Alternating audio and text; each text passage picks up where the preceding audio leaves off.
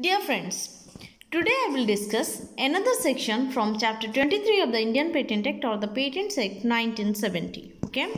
So today's section is section 151 and the title is Transmission of Orders of Courts to Controller. Fine. So let us proceed through my key points. Subsection 1 says every order of the High Court or IPAB that is appellate board on a petition for revocation including orders grant including orders granting certificates including orders granting certificates of validity of any claim shall be transmitted by the high court or IPAB to the controller who shall cause an entry thereof and reference thereto to be made in the register. Fine. So i would request all of you to please refer the direct as well fine? So the keywords here are every order okay high court or ipab on a petition for revocation transmitted by the high court or ipab to the controller okay and made in the register. So in simple words we can say that the orders of the high court or ipab which is based on the petition for revocation okay? And it includes the orders granting certificates of validity of any claim. It shall be transmitted by the high court or ipab to the controller. Okay? And the controller shall cause an entry thereof and reference to be made in the register. Fine. Next one is subsection 2 for any suit for infringement of a patent or under section 106 the validity of any claim or a specification is contested.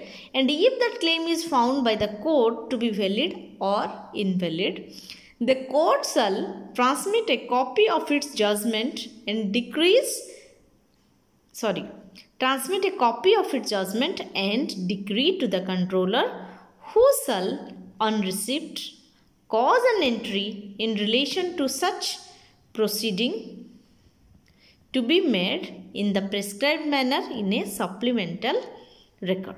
Fine. So here also please observe the underlined words that is the key words that are the keywords and you can get it more. It will be more clearer to you.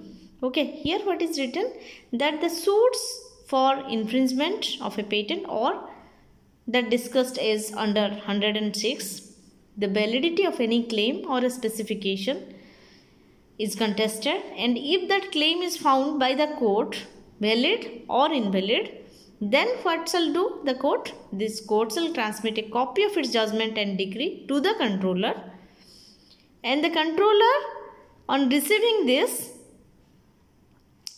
it will he will cause an entry in relation to such proceeding to be made in the prescribed manner in a supplemental record in a supplemental record.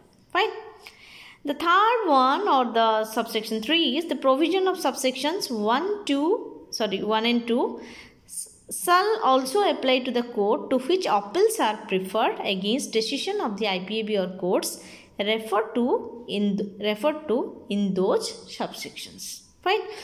So uh, this way friends uh, all the three subsections of section 151 is completed. So please uh, refer the bare act as well to find it to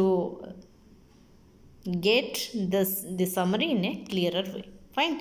Then next section is section 152 the title is transmission of copies of specifications etc and inspection thereof.